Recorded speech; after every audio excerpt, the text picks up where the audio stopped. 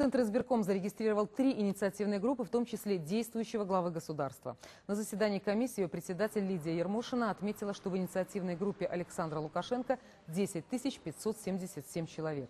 Все представленные документы соответствуют требованиям белорусского законодательства. Кроме того, Центр избирком зарегистрировал инициативные группы Сергея Калякина и Сергея Гайдукевича. ЦИК рассмотрит документы второй партии претендентов 20 июля. В понедельник мы будем знать количество.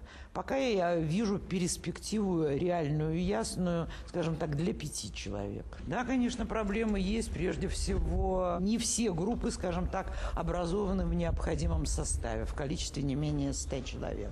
Правда, так сказать, претенденты заявляют о том, что сегодня они еще донесут списки. И это возможно. Одна из групп, скажем так, подлежа... подала документы ненадлежащим образом. Это было направление заявления по почте. Итак, на данный момент Центр избирком зарегистрировал три инициативные группы из 10 участников предвыборной кампании.